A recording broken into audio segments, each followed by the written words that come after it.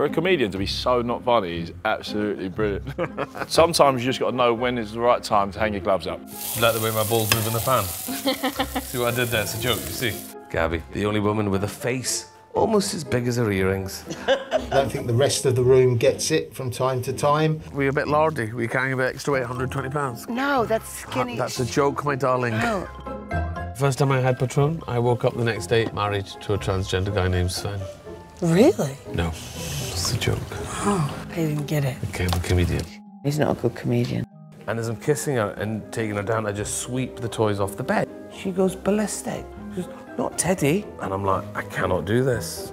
Gone, like that, gone.